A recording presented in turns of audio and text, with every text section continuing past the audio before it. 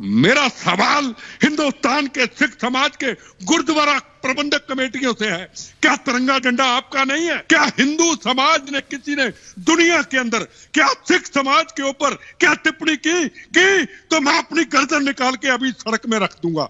आपके चैनलों में जिम्मेदार लोग सिख समाज के अलग अलग पॉलिटिकल पार्टियों पे हर मुद्दे पे आते थे। क्या कोई आया? क्या कोई आया? डिबेट होगी पाकिस्तान की डिबेट होगी राजनीतिक डिबेट होगी तू तू मैं मैं। तो रुमाल निकाल के आएँगे। मेरे साथ बिट्टा साहब मौजूद है। बिट्टा साहब आपको आवाज़ आ रही है? उम्मीद करता हूँ। अरे बंदे मातरम बंदे बंदे मातरम बट्टा साहब। एम एस बिट्टा साहब ये हमने देखा कि पाकिस्तान में इस परमजीत सिंह पंजवार को मारा गया कल। अननोन असाइलेंट्स द्वारा तो पूरा का पूरा ये जो इनका pro Pakistan UK Canada US वाला जो पूरा एंगल था, ये पूरा हिल गया। लेकिन उससे ज़्यादा मेरे को चिंता उस बात पे हुई थी बेटा साहब, कि जब ये अमृतपाल जैसे pro Khalistani pro Pak elements active हुए तो जब इनका ये प्रो खालिस्तानी वाला हल्का सा कमज़ोर हुआ, इन्होंने ये सिख वर्सेस हिंदू की जो फॉल्ट लाइन है, उसको दोबारा बढ़ाने की कोशिश की। बेटा साहब I want your take on this मैं मैं मैं बताना चाहता हूँ। पहले तो मैं आपका बहुत शुक्रिया अदा करता हूँ, जो आपकी कुछ बातें सुनी तू तू मैं मैं की डिबेट और एक वो देशद्रोही, वो खालिस्तानी जिसने यूके के तिरंगे झंडे का अपमान किया, भारत माता को गाली दी, भगत सिंह जी को आतंकवादी कहा। और गौ माता के बारे में गंदे लफ्जों का इस्तेमाल किया। और जो परमजीत सिंह पंजवाड़ की बात कर रहे हैं, पहला हमला अमृतसर के अंदर 45 किलो आरडीएक्स की इसने ज़िम्मेदारी ली मेरे ऊपर किया। 35 लोग शहीद हुए मेरे साथ 90 जख्मी हुए। और सिख 12 सिख लोगों को एक गाँव में, फिरोजपुर में गोलियों से इसने बुन डाला। ये वो खतरनाक आतंकवादी था। मैं एक सवाल पूछना चाहता हूँ। हिंदुस्तान के पूरे सिख समाज से सवाल पूछना चाहता हूँ।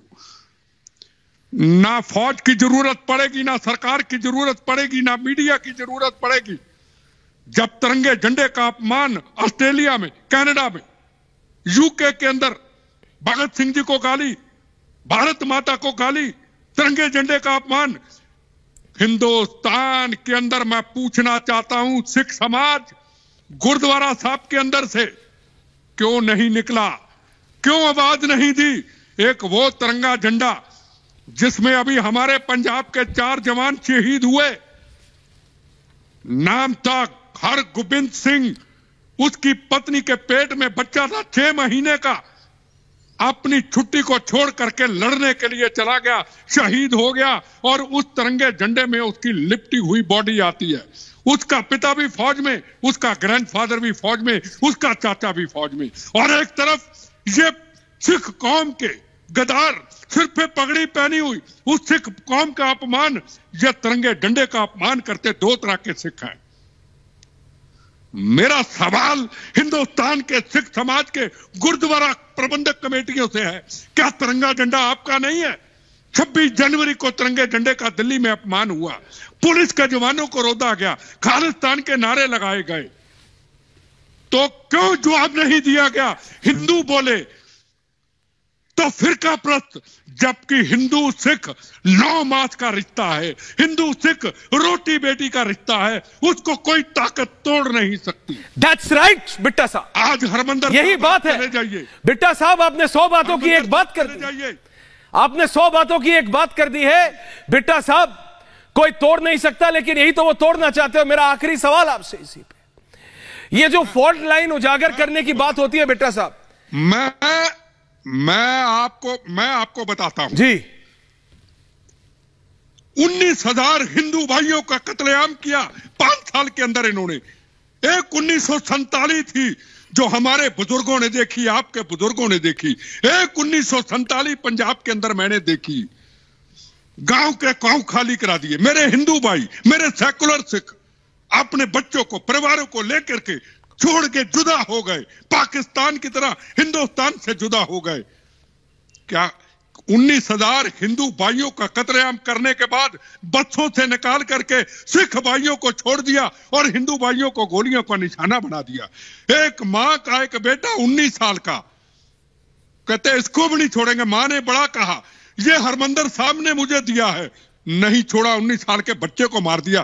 क्या हिंदू समाज ने, किसी ने दुनिया के अंदर, क्या सिख समाज के ऊपर, क्या टिप्पणी की की तो मैं अपनी गर्दन निकाल के अभी सड़क में रख दूँगा।